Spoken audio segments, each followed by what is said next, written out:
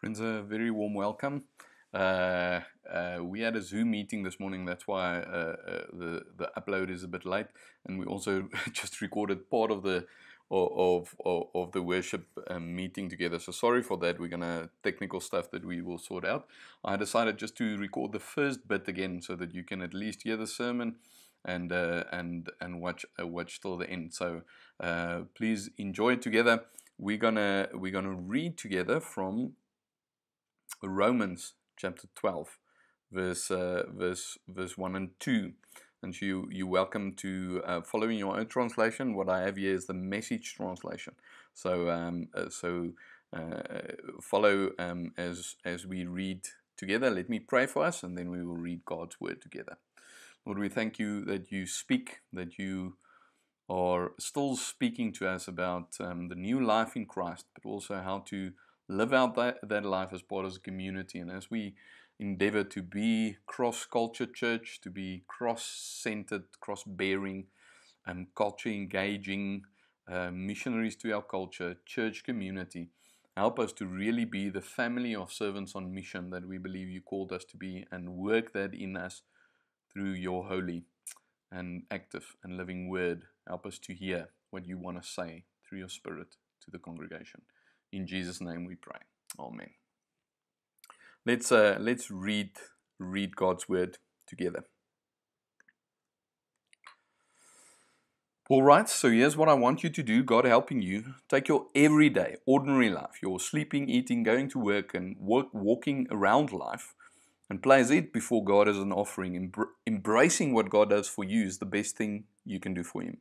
Don't become so well adjusted to your culture that you fit into it without even thinking. Instead, fix your attention on God.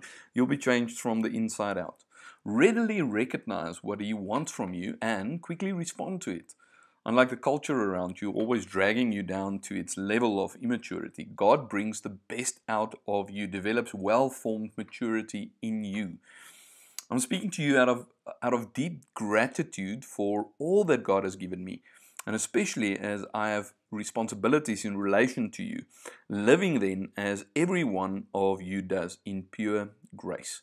It's important that you not misinterpret yourself as people who are bringing this goodness to God. No, God brings it all to you. The only accurate way to understand ourselves is by what God is and by what He does for us, not by what we are and what we do for Him. In this way, we are like the various parts of a human body. Each part gets its meaning from the body as a whole, not the other way around.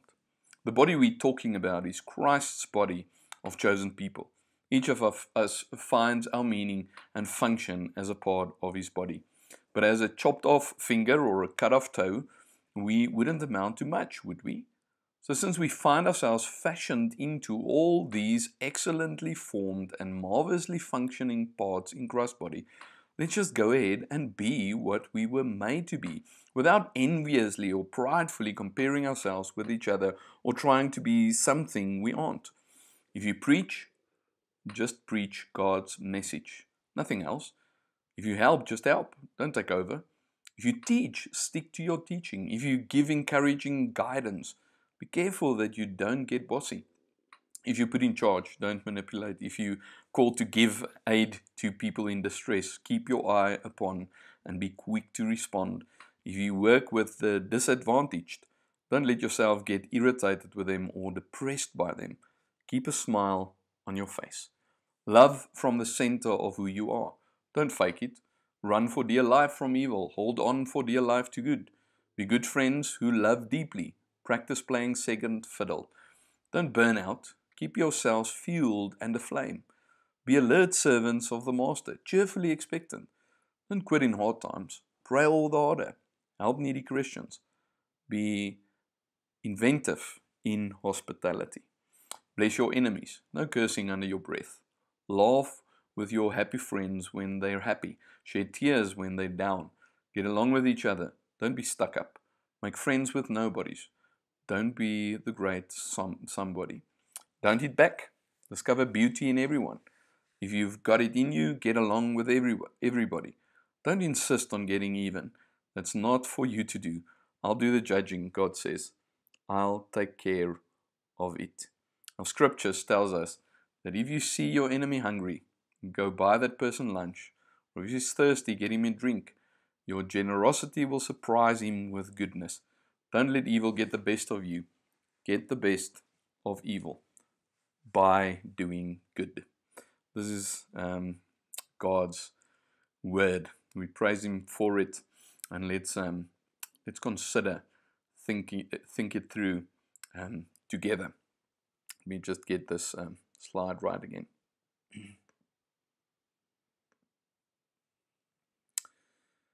Um, great. I hope you um, you found that uh, challenging and intriguing. The message uh, Eugene Peterson had a great way of just um, just uh, just putting into words. I think what what is meant in the original text.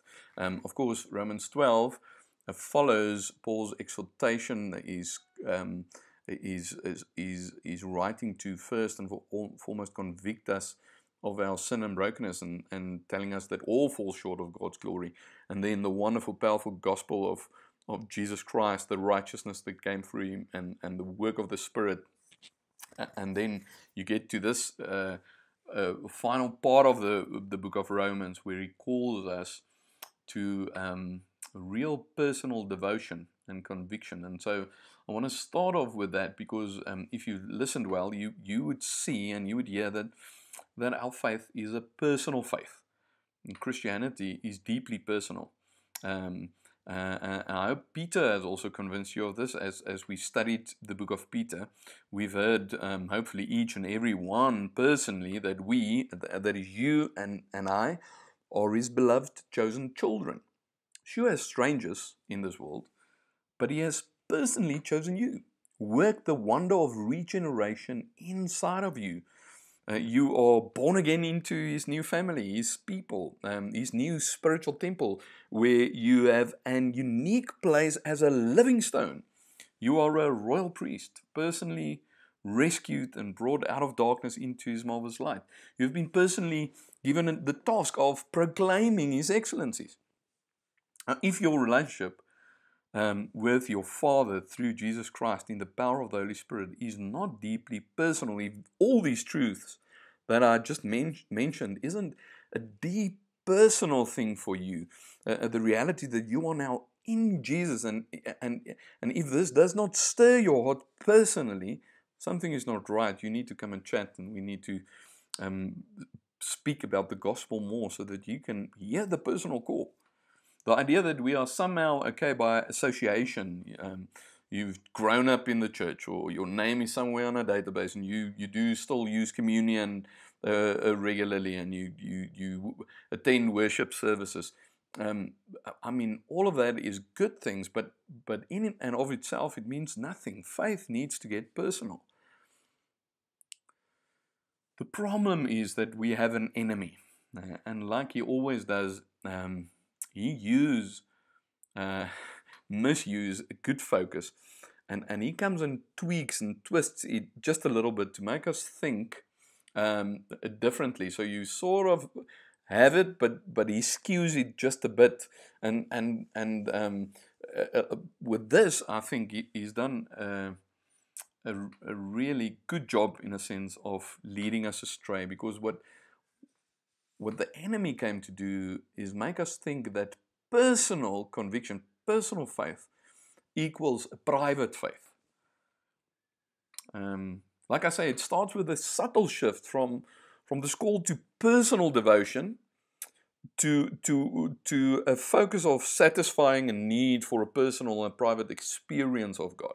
Uh, it's a move from, a, from, a, from an outward focus, personally taking up my cross for His kingdom's sake, to an inward sort of gaze. How does God help and assist me to cope with all my problems and my guilt and my shame and the injustice done to me and the dreams that I have? How does God and His church help me to, to overcome all of this and reach all my goals and become all that I, I want to become and that I deserve to become?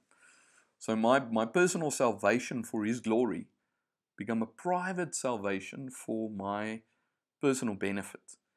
In the process, church becomes an organization that should service all of my spiritual needs, the needs of my family, my children, uh, uh, rather than a body that I'm part of by His grace, to be loved, yes, but in such a way that I change into someone who loves well. Um, the church is a space to learn how to sacrifice myself and how to use the gifts for God's, my gifts, all my gifts for God's glory and for His kingdom's sake, together with my fellow believers. Church is not meant to be an organization first and foremost. Organized, yes.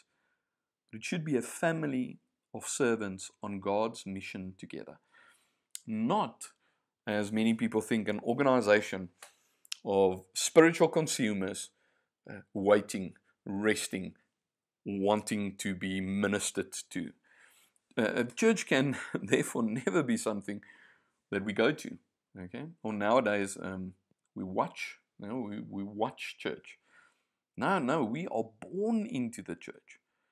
Uh, it, it, it's not an event or a program. It's a new way of life. It's an organism of which I have become a living part in and through Jesus Christ. Now, friends, as leaders of Cross Culture Church, we are really rebelling against this twisted form of church. And, and it's hard because the problem is not out there somewhere, it is in us. It's really in me.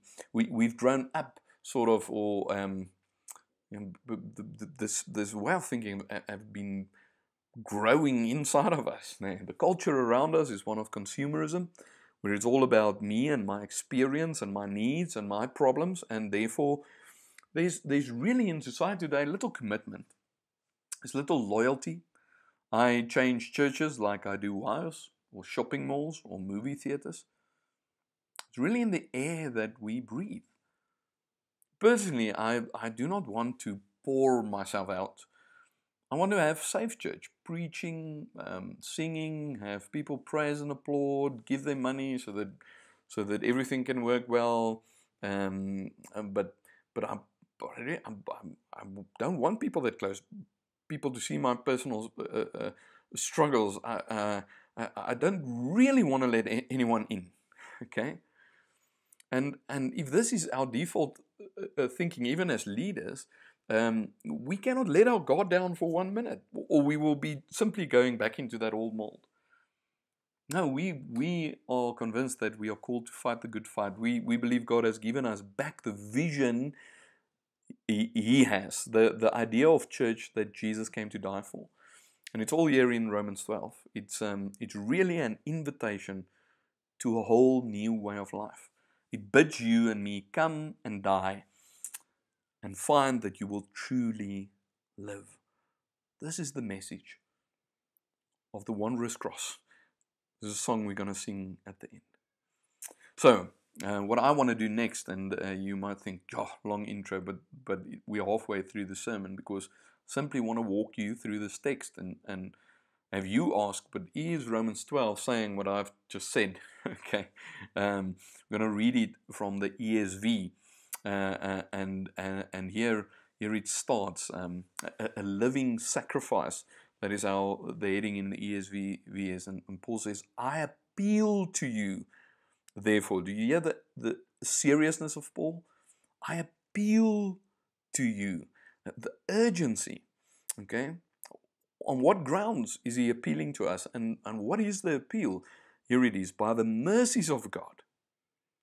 I appeal to you by the mercies of God to present your bodies as a living sacrifice, holy and acceptable to God, which is your spiritual worship. So, so the question is, is, is worship first and foremost an experience on a Sunday for an hour? Not according to the Bible.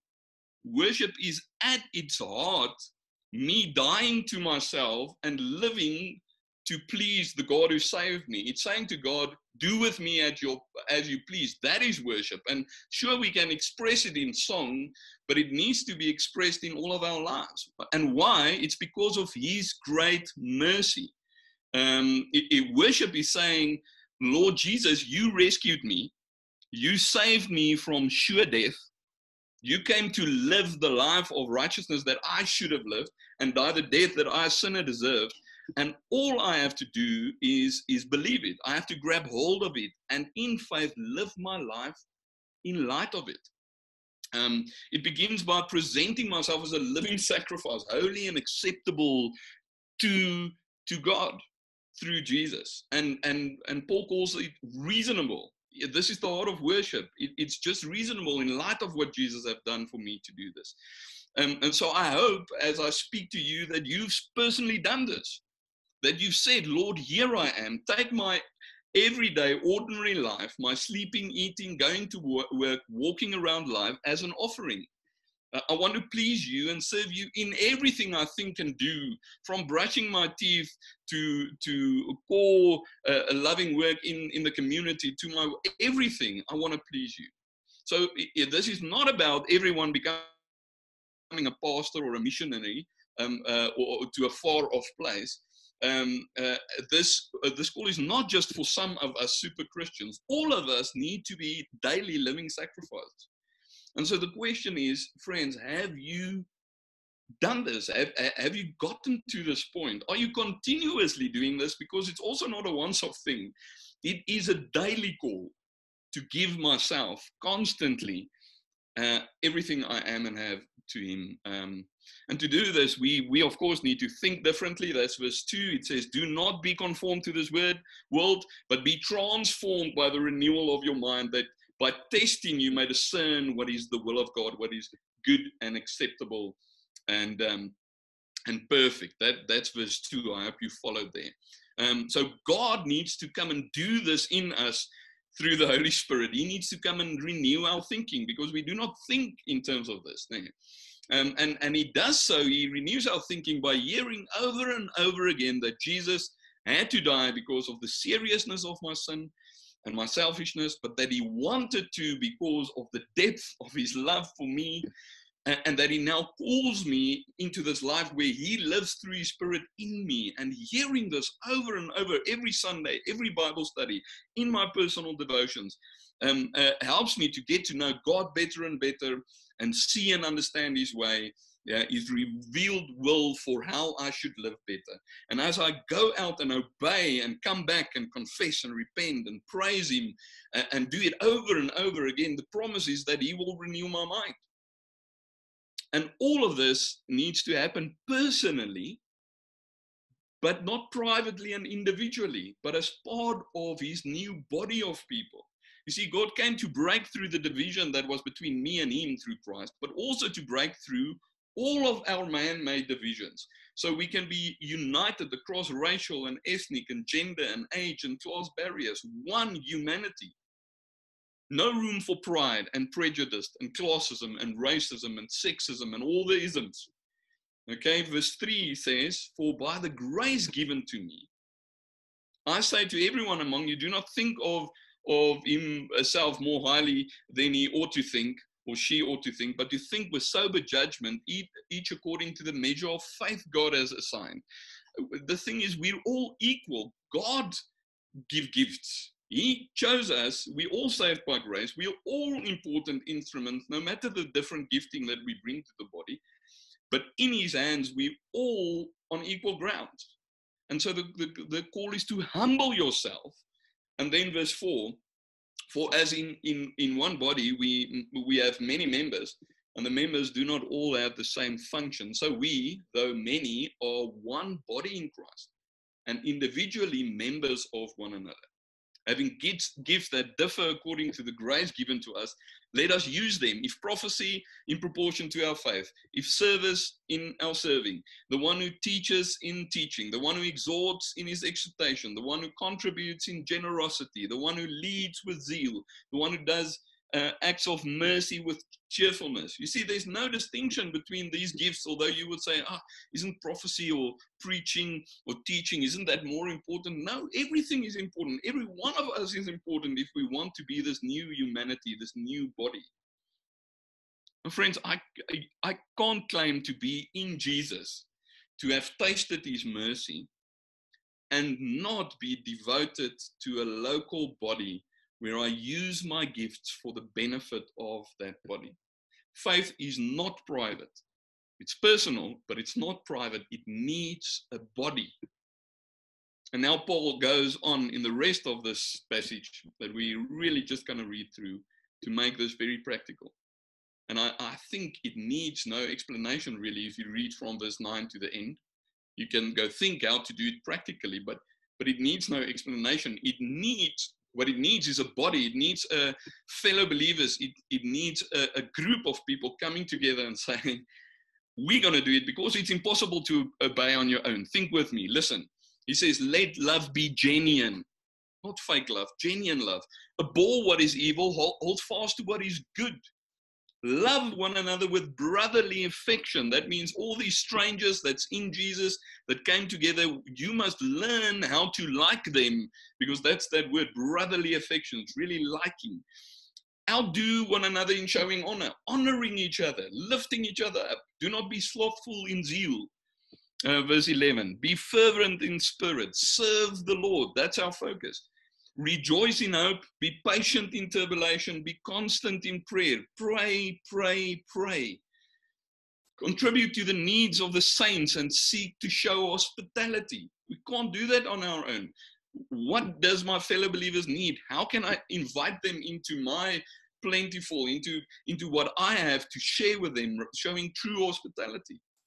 Verse 14 says, Bear those who persecute you uh, uh, bless those who, who persecute you. Bless and do not curse. Rejoice with those who rejoice. Weep with those who weep. Live in harmony with each other. Uh, it's once again this idea of inside of the body. Do not be haughty, but associate with the lowly. Look for those outcasts, those people that's really struggling, uh, the downcast, downtrodden people. Associate with them like Jesus did. Never, never be wise in your own sight. Repay no evil for evil, but give thought to do what is honorable in the sight of all. If possible, so far as it depends on you, live peaceably with all with all people. We know that the first churches, uh, we read in Acts, the community around them loved them at first. Uh, there, were, there was persecution, but the call is as far as it's up to us, have peace with the people around uh, around you. Beloved, never avenge yourself, but leave it to the wrath of God, for it's written, Vengeance is mine, I will repay, says the Lord. To, to the contrary, if your enemy is hungry, feed him. If he's thirsty, give him something to drink.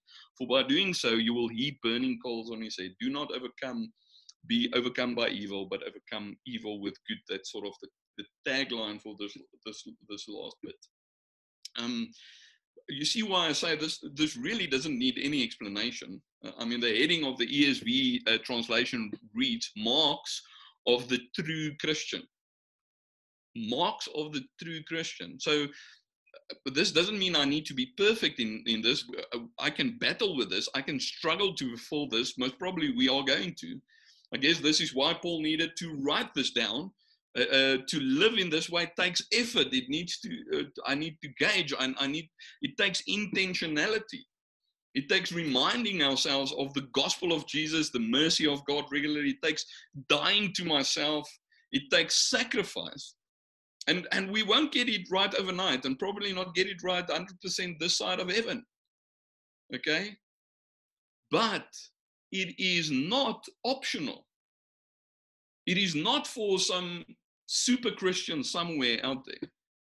We can't ignore this because it is hard. No, this is how true Christians live. This is how they at least endeavor to live. They want to live this way. They want to create this kind of community. Do you notice that Paul nowhere in this says, he, he says, this is your reasonable uh, worship. And then he explains, and he nowhere says to be a true Christian, you need a great worship experience. You, you need what you need to be a true Christian is great nuggets of truth uh, uh, to go and build your business on. Uh, um, you, you, some Holy Spirit inspiration to go and make your dreams come true, to, to live the life you've always wanted. That's not what he, he says. No. On the contrary, Romans 12 says a true Christian, and with this we conclude a true Christian is someone that's overwhelmed by God's mercy in Jesus saved from death, brought over into new life, and therefore takes all that he or she is and has and gives it back to God, presenting their, their whole selves, their bodies to God as living sacrifices. Uh, they seek the renewal of their minds. They seek for it to be changed from consumer minds to servant minds through constant engaging in God's word. They humble themselves And they commit their gifts and talents to the body of God, to real people in real time lives, His church.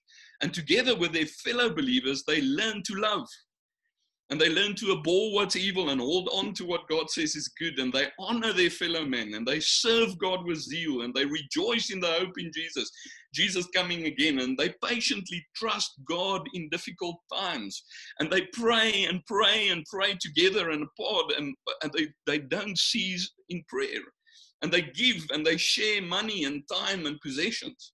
And they show hospitality, inviting even strangers in, and they bless their persecutors and they do life together with fellow believers, laughing together, weeping together. Together they seek out the lowly in society and associate with them. They are humble. They, they're never wise and um, we have all the answers. They do not repay evil with evil. They try and live in peace with everyone that they come across. They never, never avenge themselves, but they trust God as the ultimate judge to put things right eventually. They serve even their enemies, they persecute us. And they really, together as a body, overcome evil with good. Friends, imagine, just dream with me about a church like that. And the question is have you bought into this? Is this you? Are you? Is this at least what you want to be? The, this description in Romans 12. Are, are you are you convinced that you you've been brought into God's army of cross-bearing disciples? Um, is this us cross cross culture church? Um, what I what I can say, friends, is, and I'm speaking once again on behalf of the elders, and I believe all the leaders, and and hopefully all the people that's already committed, the members. But this is this is really who we want to be in Jesus' power. And, and we really believe this is not just a pipe dream of an old text. We believe it is possible because of Him. All we need to do is to want it, to seek it intentionally. And this is what we want to do together. We cannot be this overnight, but we can seek it and, and grow into this together. And so hear the invitation in him. Hear the invitation. It's, it's an invitation to come and swim upstream with Jesus as a family of servants on his mission. We're going to unpack a lot more of that in weeks to come. But here's where it starts a deep and personal conviction, yes, but not a private one. Not with myself and my relationship at the center. No, for Him and for His glory and for these fellow believers that I've committed myself to. That is what God is calling us to. That is what He's inviting us into anew today. Amen. Friends, let's let's just take a moment, um, each and every one of us, and just consider this, and um, and then I will I will uh, lead us in prayer, and then Brian, we can um, we can sing together just that song before um, I just share a bit of the practical things before we go go into um, into our breakout breakout rooms. And let's just become quiet, and then I will lead us in prayer.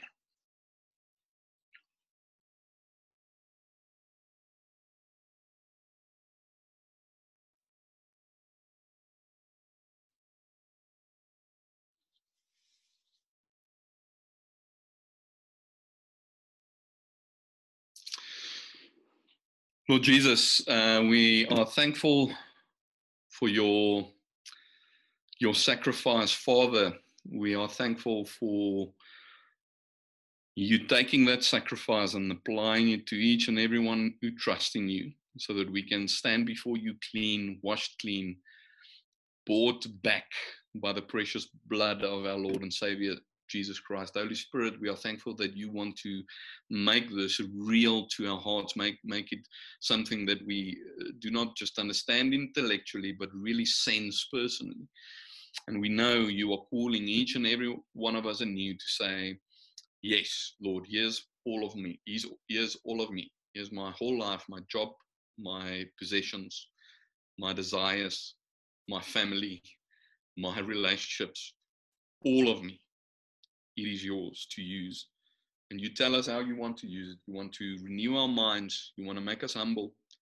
You want to take those gifts that you've given us, the talents and the gifts of the Spirit, and, and apply to this new creation, this new temple, uh, the body of Jesus, your church.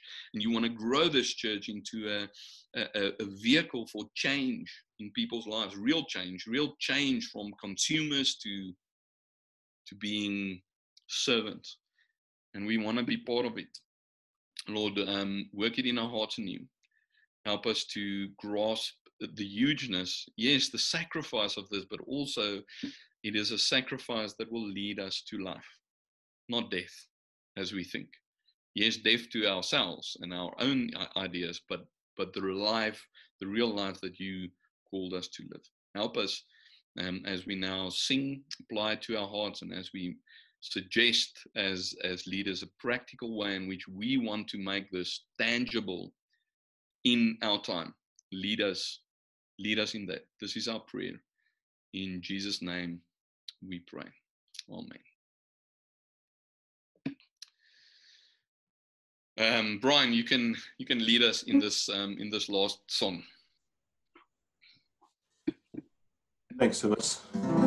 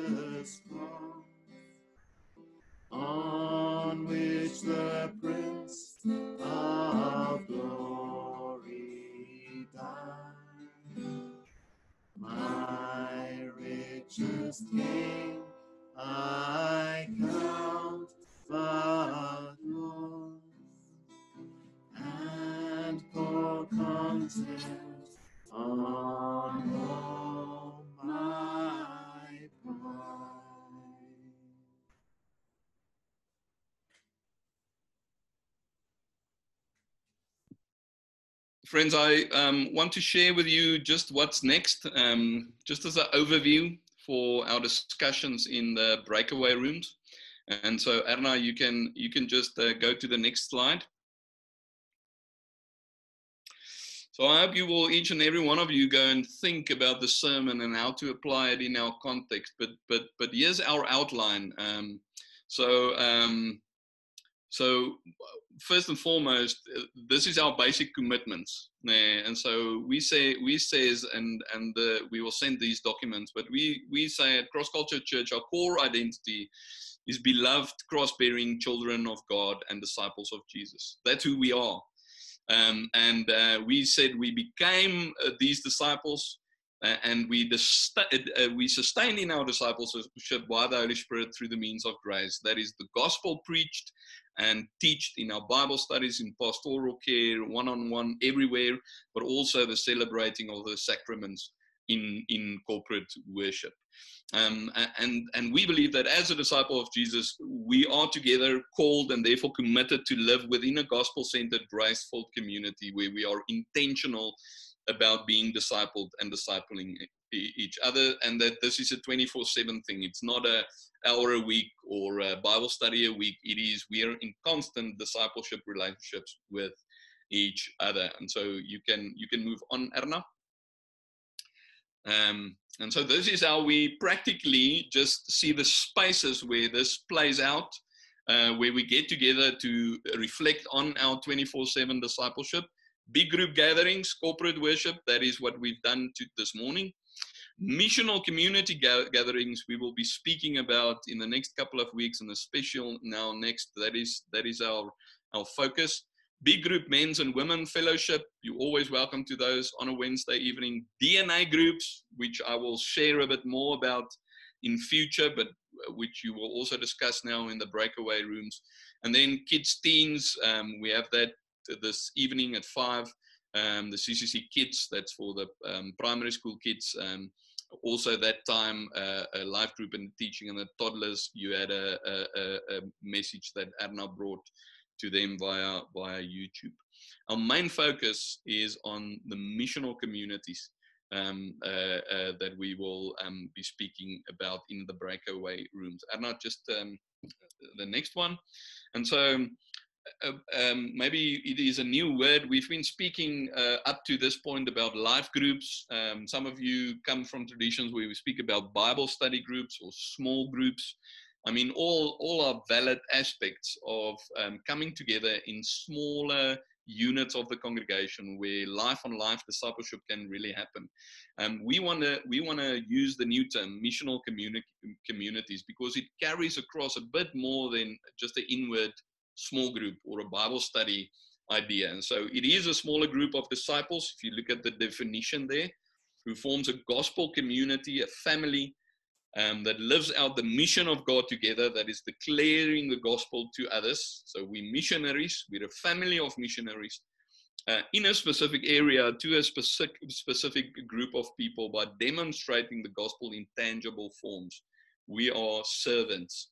Um, and so the place, the main vehicle for living this 24 7 is within our missional um, communities. And what you are going to walk through um, in the one group with Brian and in the other group here after with me and Chris is a template um, uh, that we, this is a suggestion. It isn't set in stone, but this is what we think about.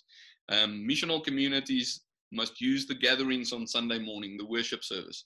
They must um, uh, uh, have fellowship regularly, and uh, currently our rhythm for the fellowship is after the sermon uh, after the worship together. And and it's not Mac fellowship like Brian said. Um, so that MC is um, missional community. So Sunday morning fellowship. Um, uh, a family meal nights or mornings together that is a possibility. So to have at least two times a month uh, a meal night where someone hosts the group. Um, fun activity together that is the missional fun activity and that is just going out and playing games or doing some fun fun activity. The next one is the service project together. So a very clear servant a servant missional focus for um, our missional community um, our life groups, and then the DNA groups, which is a work in progress, but we hope um, that we can eventually have in each missional community at least one or two men's and or women women's group of two to three um, men or women that gets together for deep work of the spirit and applying the gospel. And so currently, we believe we we we can manage about two communities um, to start off with, and that's why you've you divided into to two groups. So we're gonna we're gonna be busy with that, um, uh, and and uh, you can read through that organic life together um, in in those in those smaller groups. Just switch to the next one. Know. I'm going to close with this. There's important things to keep in mind um, for the conversation you're going to have just now. So to prayerfully consider your involvement and commitment. Um, this is not a project by force, but an invitation. So, um, so see this as a healthy invitation and the needed rhythms of grace into which Jesus is calling you, not as a law that is imposed on you. Keep the goal in mind. If you want to be a disciple, we believe this is Jesus's way. Um, uh, uh, uh, the, the, the, a willingness to grow into being part of such missional community uh, is important. So don't say because I'm this looks like too much, so I'm not I'm not I'm out. Rather says, okay, I'm willing to commit to one of these things and hopefully grow into this. Um, on the other hand, I mean, nothing is going to come without clear intention and commitment. So challenge yourself also, push yourself in terms of your um, uh, your uh, commitment and um, what we are what we are putting forth is that we as elders uh, um, endeavor to ask nothing of you guys and the rest of the leaders. We, we ask nothing that we're not willing to do ourselves. Um, so great. With that in mind, um, listen to God sending us out into these groups um, for this further discussion just with His, his blessing. Um, Matthew 28, Jesus is speaking and he's standing there on the mountain with his 12 disciples. Um, can you think the small group of people thinking, how are we going to take this further? And Jesus give this blessing, and that really that really turned around history. Um, it really influenced our world in such a big way. We believe the same. God wants to still do the same through us. So listen to this blessing, receive it, um, from not me, the pastor, but from Jesus Christ. He says, All authority in heaven and on earth has been given to me. All authority, all authority. You guys, followers of me, disciples, sold out disciples of me, go therefore and make disciples of all nations, baptizing them in the name of the Father and the Son and the Holy Spirit, teaching them to observe all that I have commanded you. And behold, I am with you always to the end of the age. Amen.